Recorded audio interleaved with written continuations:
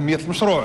ولكن قلت لكم راه آخر دراسة دارت في 2009 واللي قالت بالحرف خصنا غلطت في الرقم خصنا 800 مليون ديال الأورو للدراسات. باش نديروا هذيك لا غاليري تحت الماء باش يمكن لها تقوم بالدراسات باش تشوف كيفاش الأجواء داخل يعني تحت يعني باش يمكن يدار هذا النفق. ف 800 هي تقريبا نقولوا 10 المليار ديال الدرهم.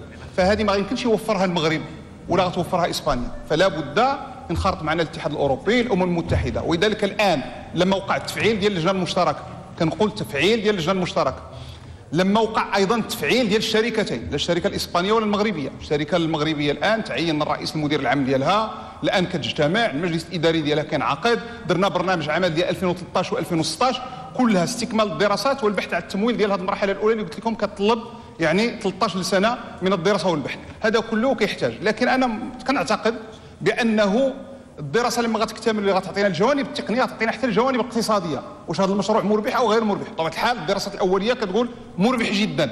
فبالتالي لما تكتمل الدراسات آنذاك يمكننا نبحثوا على الشراكات مع القطاع الخاص وبين القطاع الخاص والقطاع العام اللي يمكننا ننجزوا به هذا المشروع. لكن هذا مشروع كما قلت لكم أكبر بكثير من من عمر حكومة وأكثر بك أكبر بكثير من عمر استراتيجيه ديال 20 سنة و30 سنة.